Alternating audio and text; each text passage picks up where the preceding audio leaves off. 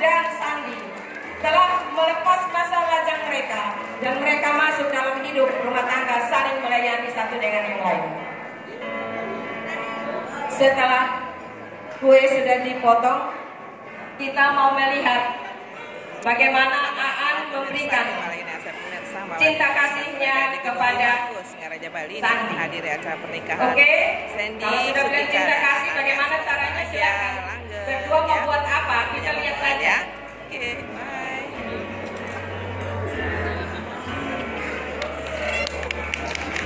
Bagaimana Bapak Ibu cukup atau belum? Iya, belum mesra katanya. Cium, cium, cium. Cium sayang, Ya pelan-pelan jangan buru-buru. Pakai perasaan Kameranya. dong. Pakai perasaan sayang. Iya.